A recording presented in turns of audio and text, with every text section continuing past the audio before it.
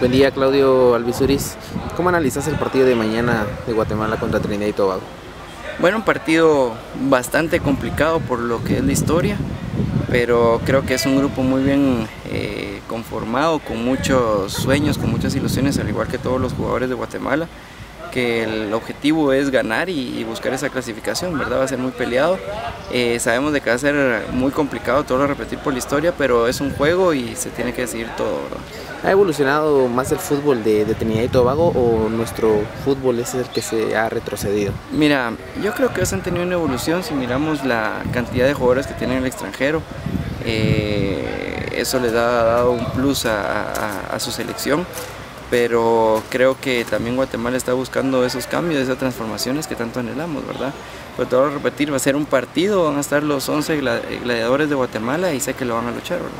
¿Qué ventaja crees que pueda tener Guatemala para el partido de mañana? Ventaja ninguna.